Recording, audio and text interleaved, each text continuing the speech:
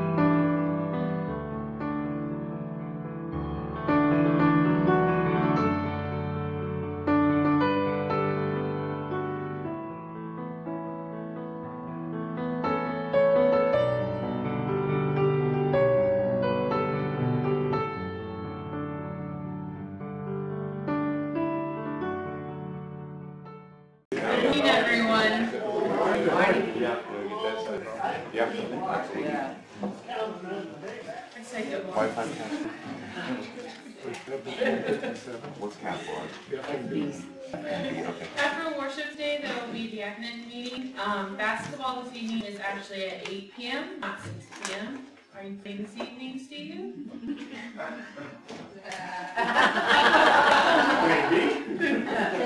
Um, Tuesday at six PM will be a North Back Moms meet. Um, Wednesday, four thirty will be supper preparations for anybody who is available to help. Six PM is supper. Six thirty PM will be the joint opening, and then seven to eight will be SWAT. Next Sunday will be nine AM Sunday school and ten AM worship.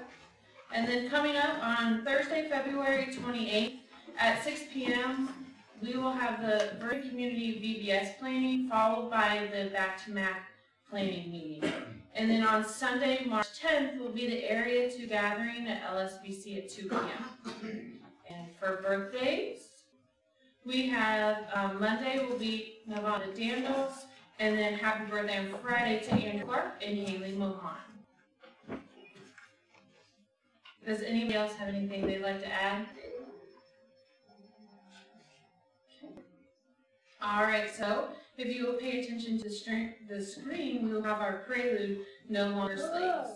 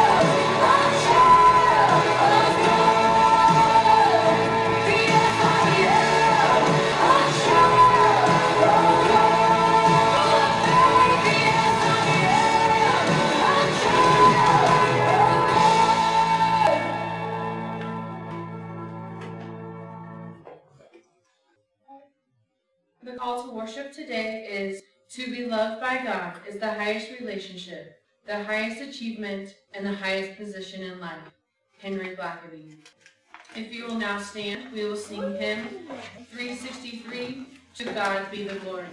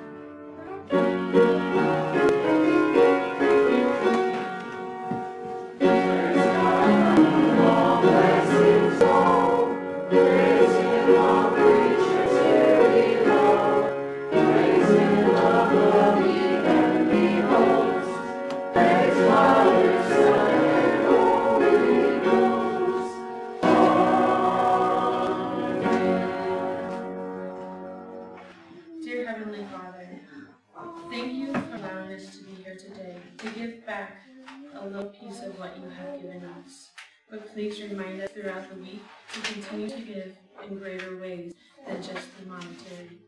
Befriend a friend and listen to what you have put on our hearts throughout the week. In Jesus' name we pray. Amen.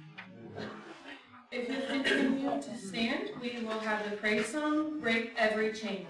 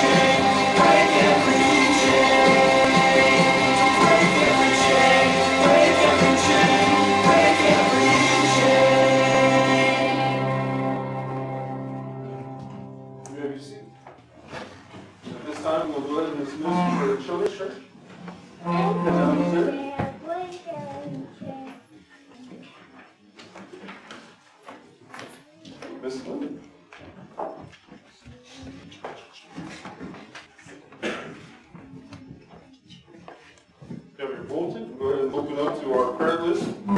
And take a look at that, you see any changes that need to be made or any additions that you'd like to make. Uh, Please see Debbie, she'll make sure to add those in.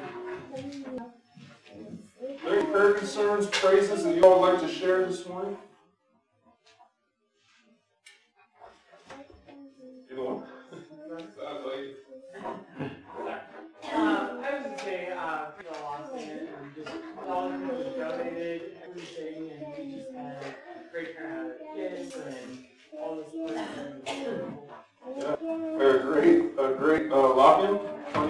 Students, and we had good support from the adults.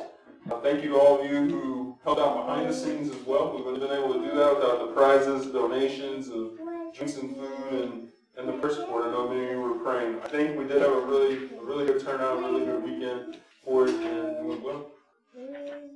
Same thing. Yeah, I was just gonna say thanks for everybody donated. Yeah. Amazing amount of stuff, a lot of prizes. Yeah. You guys really came through. Yes. Anyone else, any other prayer chain, or any other prayer chain? Lock in, lock in prayer. Any other prayer concerns, praises? You guys will continue to keep uh, Pat Smith in your prayers as she continues to recover, um, and Jim as well, as he continues to be there. Anyone else? Okay.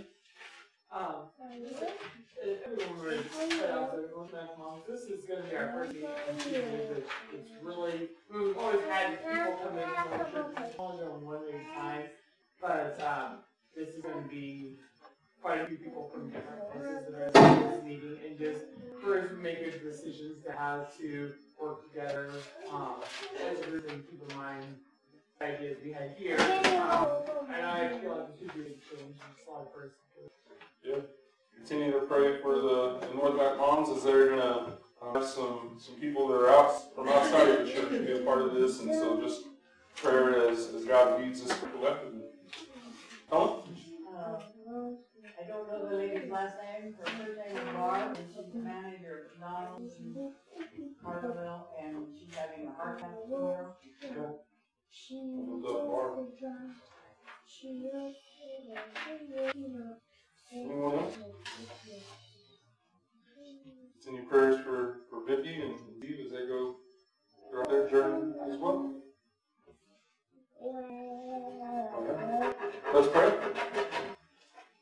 Heavenly Father, we just thank you that we can come together, that we can be one body before you. And Lord, we thank you for calling us together, that we can call this, this church body family. We know, Lord, that throughout the week and, and as we fight our battles and our struggles, Lord, as we seek to live for you, that we know uh, as you have brought us together with this group that we are not alone, that we have our brothers and sisters who love us, who love us like their own uh, brothers and sisters, and continue to lift us up in prayer support, continue to lift us up by, by checking in on us. And Lord, we just thank you for that kind of love, for that kind of support and biblical example that, that we receive from this church. Lord, so we do ask that you continue to be a God of comfort and peace to those who are hurting and those who are struggling. Lord, be with not just those who are afflicted, but their families as well as they continue to care and, and have concern about their loved ones. Lord, we do give you praise for blessings that we received. The lock-in was, was great, Lord, but we also praise you for uh, answered prayer, and we give you praise for the battles that we do face in life as well. That we're able to overcome because we have a God who is perfect, a God who loves us, and a God who we can trust forevermore. And so I pray, Lord, that just like you saying that we'll have uh, faith to know that our God can break every chain, everything that binds us to this world, everything that keeps us from uh, fully worshiping and, and trusting in you, Lord, that you have broken those chains through your sacrifice and through your love for us. So I pray we never forget that truth, that we never quit living that truth, and others will come to experience that as well by the way that we choose to love you back. So Lord, I ask that you be with us now as we open up our, our scriptures, as we focus on what it means to, to fight against temptation. I pray, Lord, that you'll continue to open our eyes and our hearts and our ears to be fully in your presence at this time. All God's people said? Amen. Amen. If you have your Bibles, I'm going to ask you to turn to the book of Judges. We're going to go to verse, our verse. We're going to go to chapter 14 for our reading, and then I'm going to ask after we're done reading that, jump to 13, and we're going to go through the life of Samson a little bit this morning. Judges 14. We're going to read verses 1 through 9 together, kind of set the stage of the life of Samson so we can look at, as we face our relationships with God, our relationship with uh, one another, with our loved ones, just how temptation can have an effect on those relationships. Judges chapter 14, beginning of verse 1. Once Samson went down to Timnah, and at Timnah he saw a Philistine woman. Then he came up and told his father and mother, I saw a Philistine woman at Timnah. Now get her for me as my wife. But his father and mother said to him, Is there a woman among your kin or among all our people that you must go to take a wife from the uncircumcised Philistines? But Samson said to his father, Get her for me, because she pleases me. His father and mother did not know that this was from the Lord, for he was seeking a pretext to act against the Philistines. At that time, the Philistines had dominion over Israel. Verse 5, Then Samson, Samson went down with his father and mother to Timnah. When he came to the vineyard of Timnah, suddenly a young lion roared at him. The Spirit of the Lord rushed on him, and he tore the lion apart, barehanded, as one might tear apart a kid. But he did not tell his father or his mother what he had done. Then he went down and talked with the woman, and she pleased Samson. After a while he returned to marry her and turned aside to see the carcass of the lion. And there was a swarm of bees in the body of the lion and honey. He scraped it out with his hands and went on eating as he went.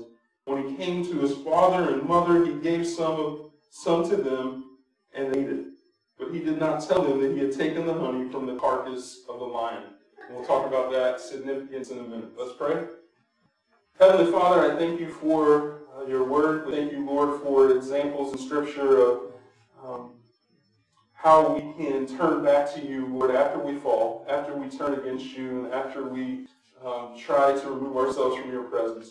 But we all also see how you always continue to give us opportunities, Lord, to turn back to you, and in those moments you will always love us. Amen.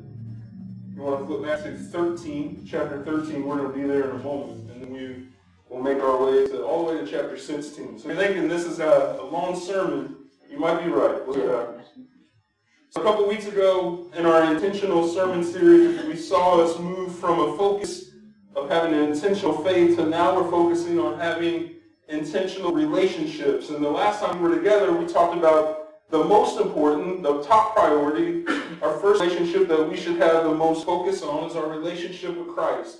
Our relationship with Him has to be the most important because it sets the foundation and the mold for all other relationships. And so we've spent some time talking about how we as believers should be putting our time and our efforts into that relationship first and foremost.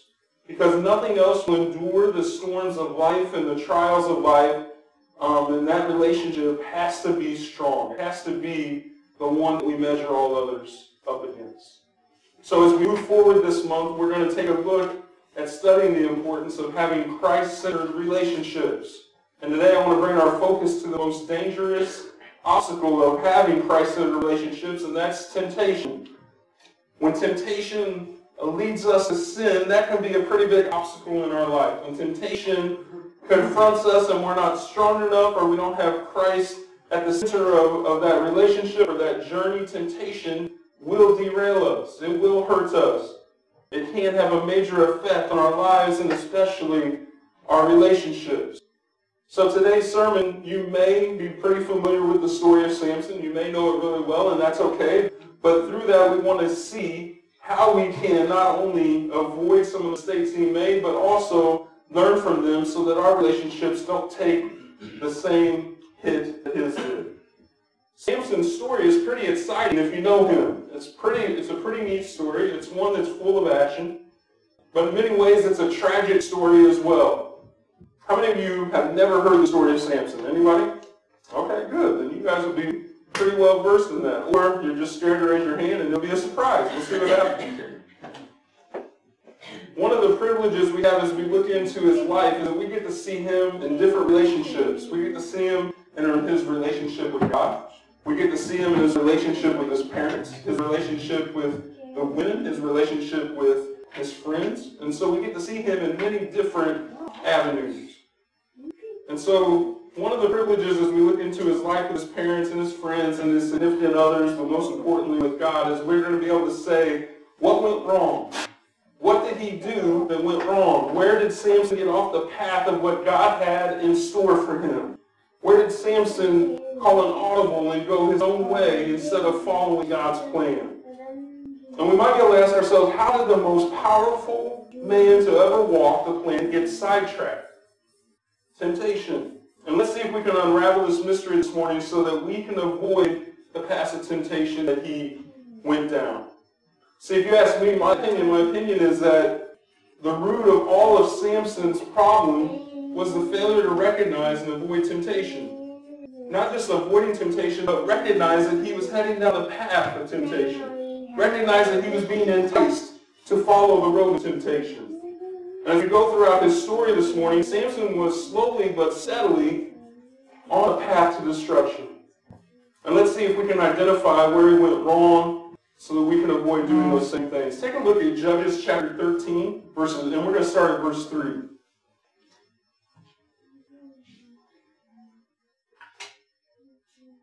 Says, And the angel of the Lord appeared to a woman and said to her, Although you are barren, having borne no children, you shall receive a son.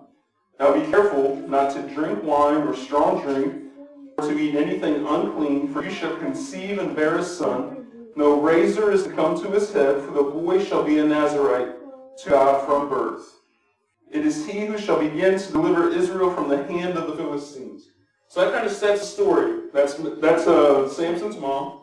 And we now have the story of what the pact between him and God was, the things that he was to avoid. And so the first thing I, I noticed about the story of Samson as we begin reading, at least for me, is that from the beginning, before he was born, God had what? He had a plan for his life. God had a plan for him. And you see, God allowed the Philistines to rule over the Jewish people for so long. A lot of the sermons I preach is talking about the redemption, right? It's talking about different people that God had ordained to be the leadership to take over, to battle back, to fight against.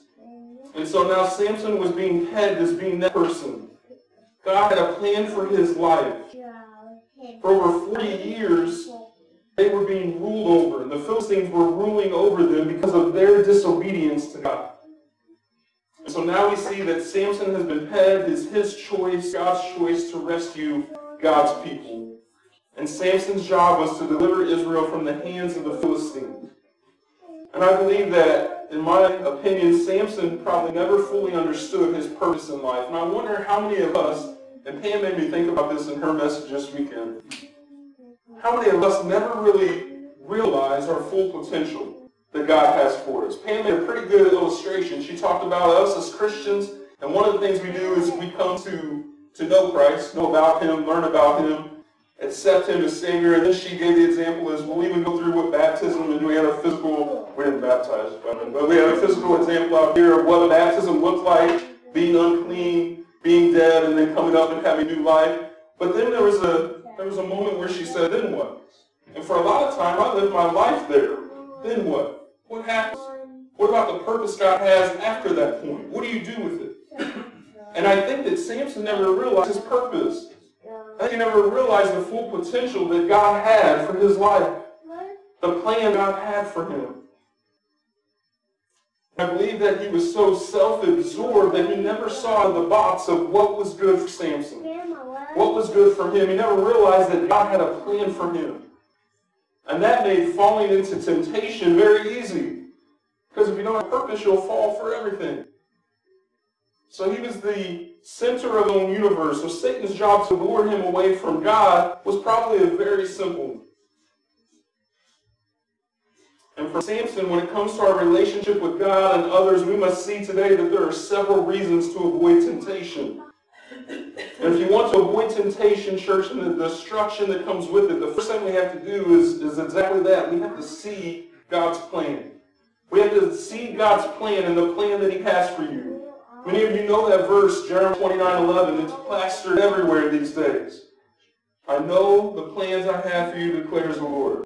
Plans to give you a hope in the future, for you to prosper. We have to know the plan that God has for us. My favorite part of that is verse 13, just two verses later. It says, Seek me and find me when you seek me with what? Your whole heart.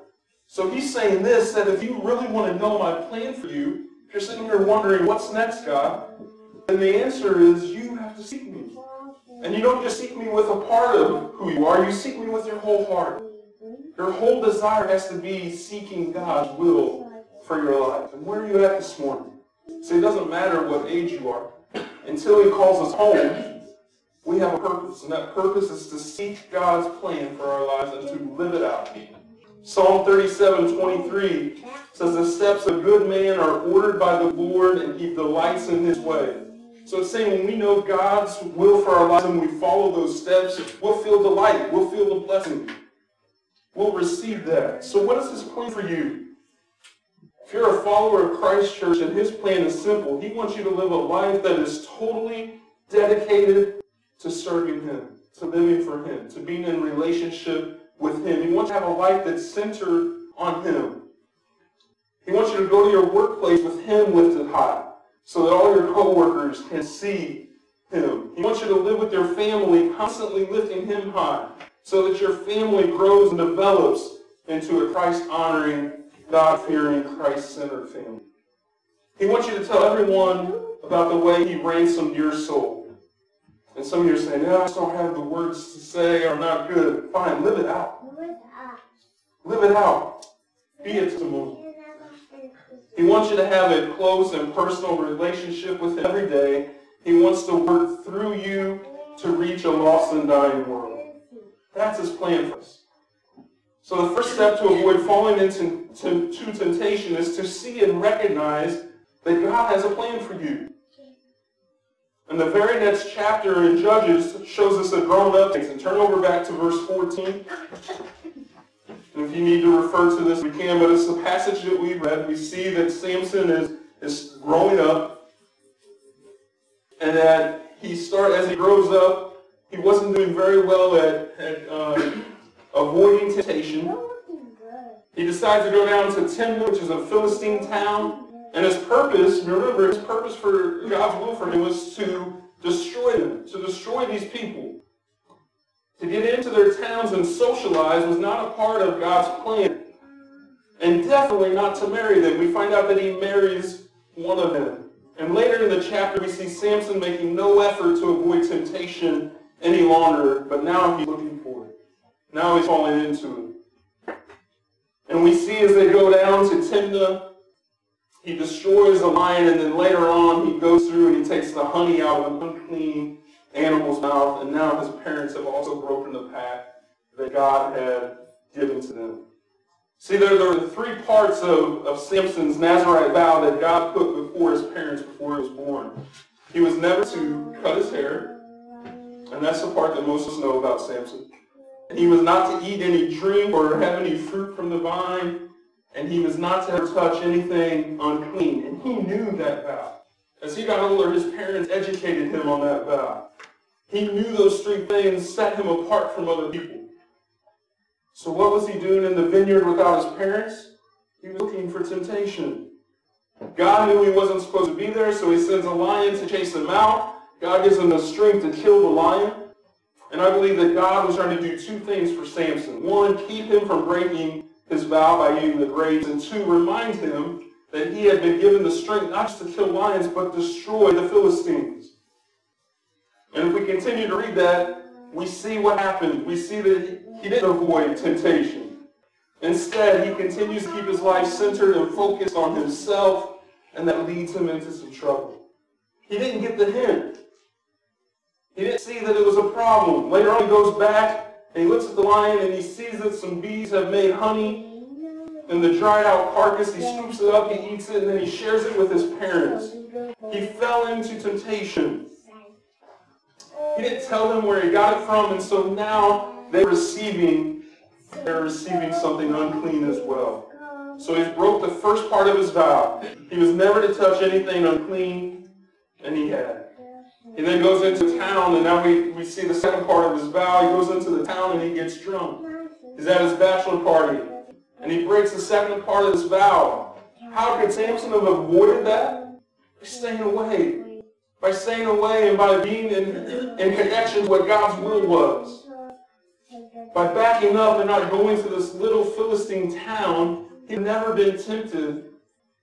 He would have never been tempted by the third part, which was the women. He would have never been tempted.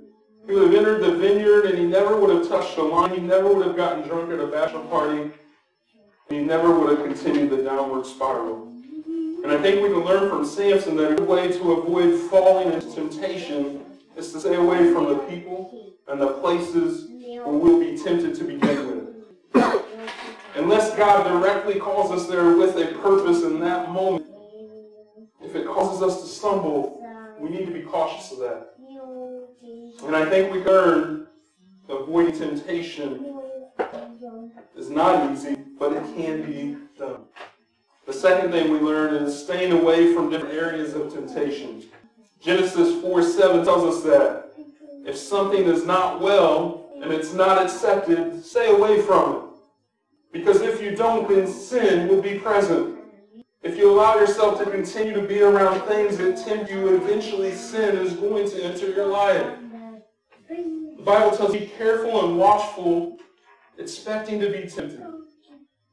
That Satan wants to destroy us, that Satan wants to knock us down. And our only defense to follow God actively, church, is to resist Satan.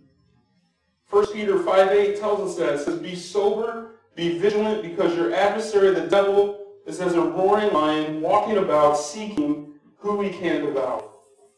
James 4 7 tells us, Submit yourselves therefore to God, resist the devil, and he will flee from you. I think Samson had another problem too. After his lion experience, you know what I think, in my opinion, happened to him? He got cocky. But man, I took out a lion. I am the strongest around. I did it with my bare hands. And so now something dangerous happens, and it can happen to all of us if we're not careful. He starts to think that he's doing all of this on what? His own power, his own strength. But he doesn't need God. That he is able to do this, that he's a self-made man, and that is dangerous.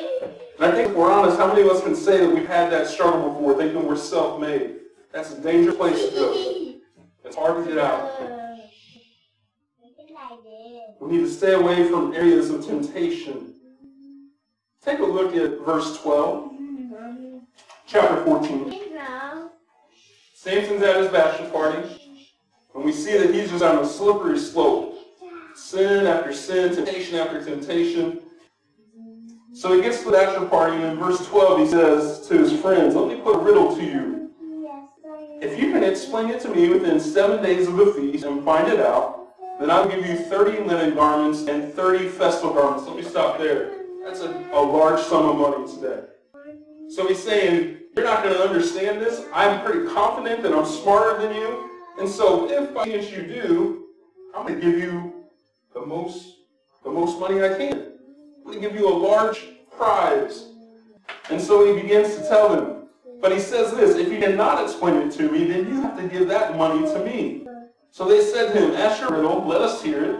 And he said to them this, Out of the eater came something to eat, out of the strong came something sweet. But for three days they could not explain the riddle. And then on the fourth day they said to Samson's wife, Coax your husband to explain the riddle to us, or we will burn you and your father's house with fire. So here he is. Samson thinks he's something. He thinks he's doing all this on his own will, that he's strong because of him, that he's smart because of him, and now he's gonna he's gonna push the envelope and say, I'm gonna make a little money off this, I'm gonna have some fun. And now these guys are serious because of the amount of money that it really is, and they go to his wife and say, Hey, find out this answer or it's over. Family be gone. Find out this answer for us is serious business now. Mm-hmm. And for Samson, it really is kind of a clever riddle, if you, if you look at it. It would be very difficult for them to solve unless you knew what had happened in the vineyard. And so Samson, we see here, is a proud Samson, a cocky Samson. A Samson that's trusting and relying on his own strength and his own wit to get by. And the result of the riddle is that his wife betrays him. You continue to read on that story. And he gets out of town and kills 30 men to pay the debt of the lost wager. And his wife and her family are burned to death on top of that. Samson then captures about 300 foxes, scripture says, ties their tails together, lights them on fire, and uses that to destroy the Philistines' wheat and other crops. And all of this commotion was caused simply because Samson was focused on himself and took things into his own hands instead of obeying God's plan. That leads us to the next step of not yielding to temptation, and that's this. Spotlight. Make important God's plan and his word for your life. Make it the top priority. Don't just know it and be aware of it, which was our first couple of steps, but make it the priority. How do we do that? Get into God's Word. Get into God's Word and know, know it. And more importantly, apply it to our lives so that it illuminates the path that God has chosen for us. Psalm 119 says it best, Thy Word is a lamp unto my feet. How's the rest of that go? And light unto my path. Another major problem that Samson had when he was looking for happiness in all the wrong places. He was looking for love in all the wrong places too, and I imagine that growing up probably wasn't easy for Samson. He probably stood out. He's the strongest guy. He's got prettier hair than the women, right? And so it probably wasn't easy for him. He stood out. I mean, he might have been ridiculed, I don't know. But seriously though, I think, in my opinion, that Samson probably wasn't a very happy person from what I read. I probably think that he didn't like being different. And Kyle and I, our small group uh, the lobby, and we talked about that. It's hard to be different. It's hard to be different from our peers. It's hard to stand out from them. And when we bring our faith into it where it's not accepted as widely as it should be, it's hard. And so he probably wasn't too happy because it's hard being different. It's hard setting apart. And he probably wanted more than anything to be like everyone else. And I think he resented this vow that God placed on him before he was born. I think he really struggled with that. I think he resented not having a choice in the matter. And I think he was unhappy with his life, so he sought happiness in the arms of temptation, in the arms of sin. And I think that sin and rebellion made him happy, but only for a season of life. But I also think it led to his ultimate destruction. So to avoid the pitfalls of temptation, church, we need to search for happiness by accomplishing God's will. If you want to know where to find happiness, true happiness, scriptural happiness, it's in the will of God for your life. It's hard to be tempted to do things that you know are wrong when we are at the center of God's will. When we put God before us and have him at the, the head of what we do, it'll be harder to fall into temptation because we know that that opposes his will. It doesn't mean that we can't fall into that temptation, but it means that it will make it harder to surrender to it. And church, I don't know about you, but there's no better feeling and no happier existence than knowing that you are living in the perfect will of God. We can have some crummy days, but I tell you some of my best days are knowing that I'm doing what God wants me to do. That I'm fulfilling what God has planned for me to do. Those are some of the best days that I have when I realize that that is taking place. Romans 12.2. Sound familiar, Sophie? Romans 12.2 is a verse that Ham had the kids learn in a very short amount of time, and I think they did a pretty good job, but it's something we need to keep, and I, I bet Samson wishes he would have known at that time. Do not be conformed to this world, but yet be transformed by what, Sophie? Amen. The renewing of your mind, so that you may prove what is good, perfect, and acceptable, the will of God. To live that way, to discover what God's perfect plan is in your life, church, brings us to the next thing. We must select God over the things of this world, and that's hard. It doesn't matter what stage of life we're in, it's hard to continuously seek God and select God and His will for our lives over the things of this world. Scripture teaches us that no man can serve two masters. We have to choose. 1 John 2.15 says, Love the world. Neither the things that are, love not the world. Neither the things that are in the world are, are of the world. And any man, if you love the world, the love of the Father is not in you. Church, whatever temptation you may be facing right now, maybe it's to separate yourself from God because you don't like the answers that He's provided. You don't like the method that He's taking, taking uh, control of things. You don't like the path that He's put you down. Maybe that's the temptation today. Or maybe it's something else. Maybe your temptation and the avenue through it is the internet. Maybe it's to make things other gods. I don't know what it is, but whatever it is, I know there's two doors to give us that illustration. There's a door, number one, that God is behind, and door number two, which is our temptation. We cannot have both doors.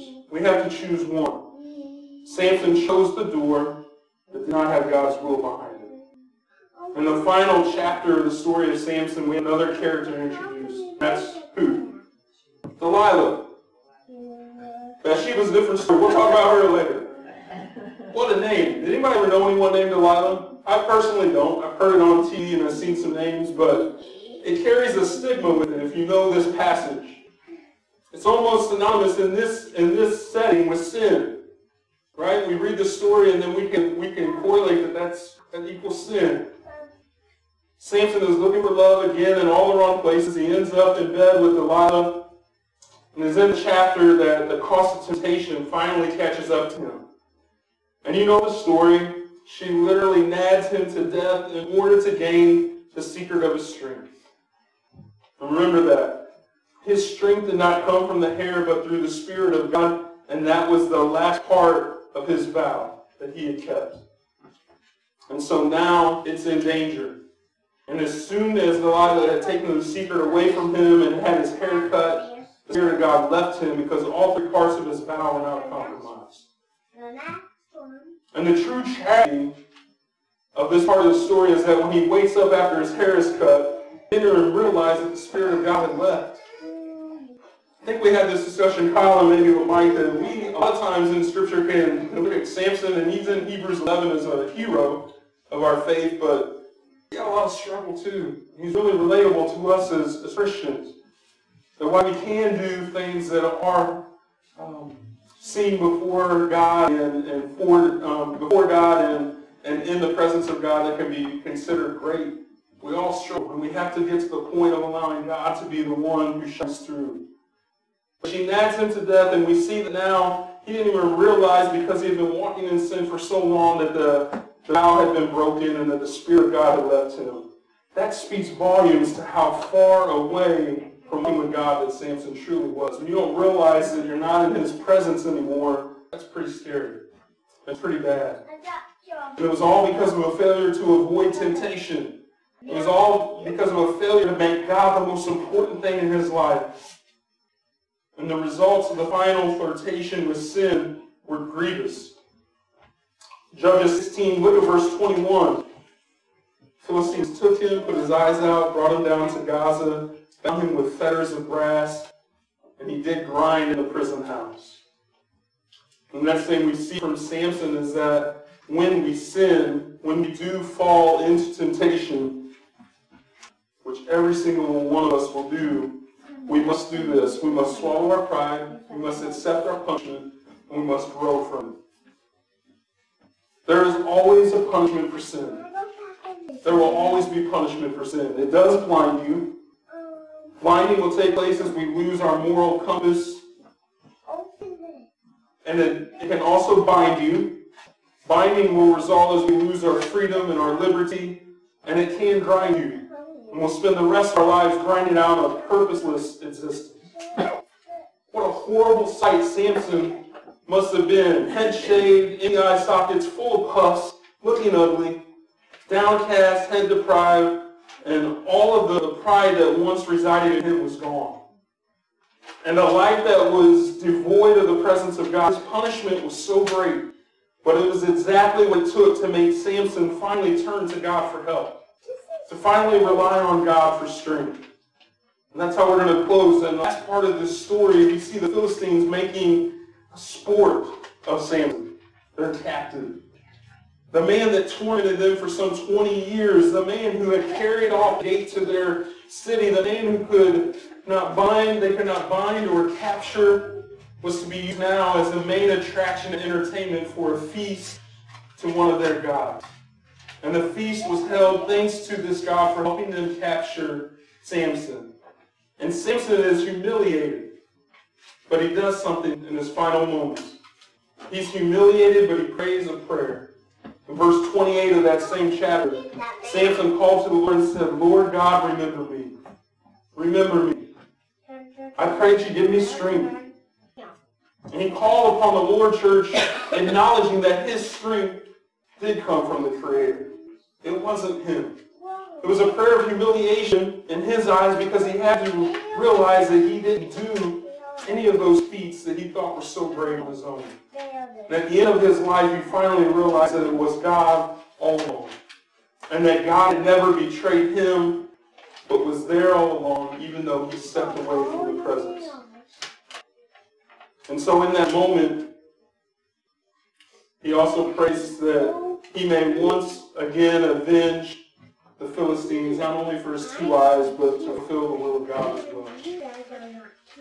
He surrendered to God's plan, church. He placed himself second to his plans. And if we fall, if we do fall to temptation, we must do those two things that Samson did, and that's our last point as we close. We must seek forgiveness, and we sub- must submit to God's plan and his favor. Psalm 38, 18, For I will declare my iniquity. I will be sorry for my sin. 1 John 1, 9 says, If we confess our sins, he is faithful and just to forgive us our sins and then do what? Cleanse us. Cleanse us from all unrighteousness. Samson, Samson lived his, his life his way and only turned to God in the final moments. And you know the rest of the story. Samson took the two middle pillars, which were the house where he stood. He was borne up in his right hand and the other with his left. And he bowed himself with all his might, and the house fell upon the Lord, upon the people that were there.